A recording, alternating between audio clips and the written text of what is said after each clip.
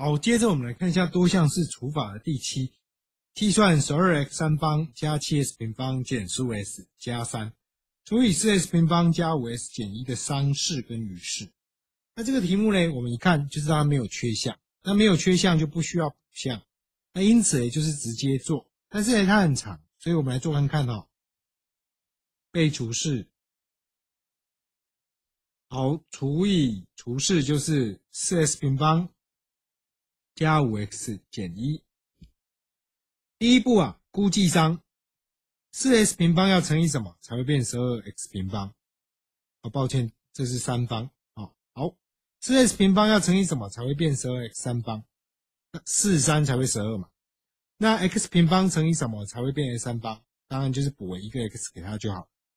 那乘过来呢？第二步乘开呢，就是三四十二 x 乘以 s 平方就是三方。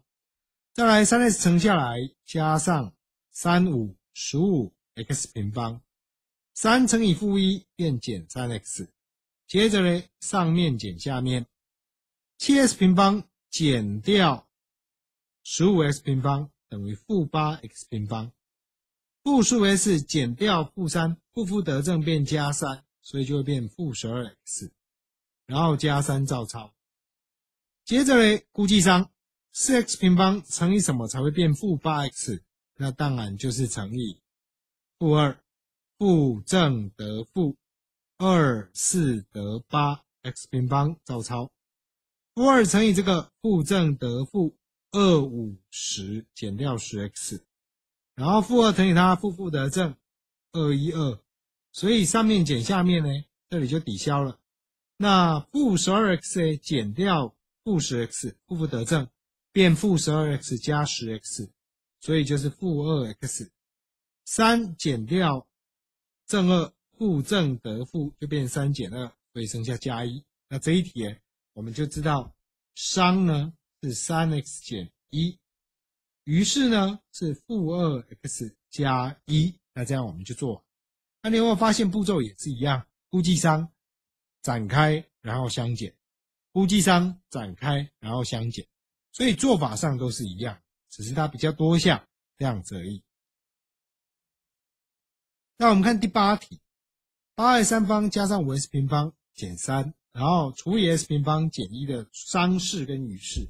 那这个呢，一看就有缺项，所以我们先补项，这里就会变八 x 三方加上五 s 平方加上补一个零 x，然后减三，好，除以。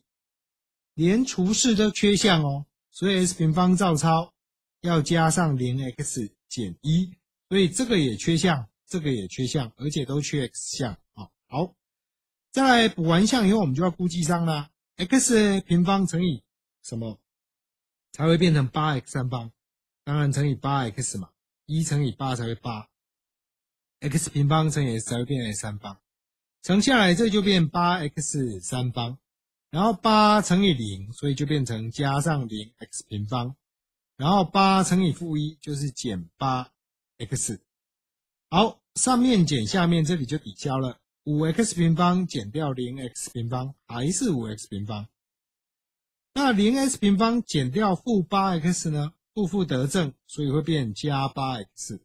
接着啊，把减三拉下来，然后我们要估计上啦，x 平方乘以什么才会变五 x 平方？当然就是加五，乘下来就会变成五 s 平方，然后五乘以零变加零 x，正负得负五一五，所以呢就会变成八 s 减掉零 s，剩下八 x，然后减三减掉负五，负负得正变减三加五，那就等于正二，所以商式啊就是八 x 加五，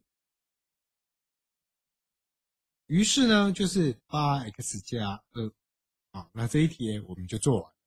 那你会发现做法上都是一样。那这一题是它的被除式跟除式都必须要补项，这就是多项式除法的做法。